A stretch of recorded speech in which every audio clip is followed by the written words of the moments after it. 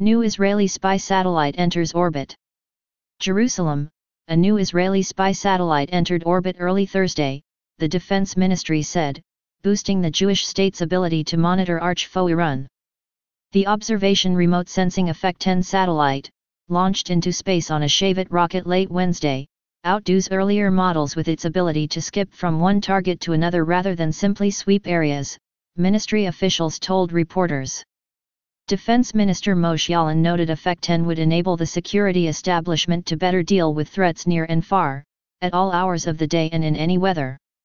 Israel, the region's sole if undeclared nuclear power, suspects Iran is covertly pursuing a nuclear weapons capability alongside its civilian program, charges adamantly denied by Tehran.